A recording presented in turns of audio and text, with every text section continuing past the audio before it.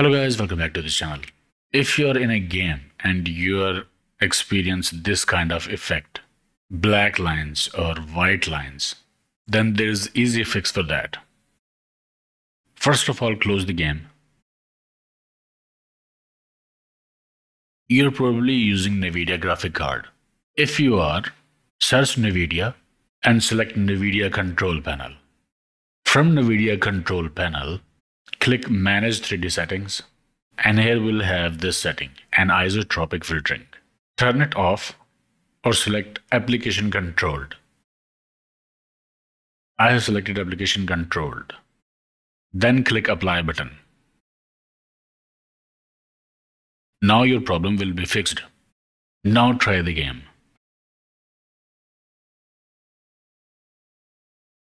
And see, those lines are gone. Now our view is clean. Our view is perfectly clean. So this fixes the issue.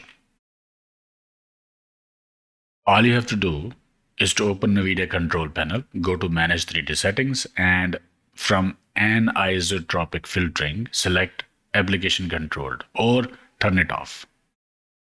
Okay, I hope it helped. Like, share, subscribe and I will see you in the next one.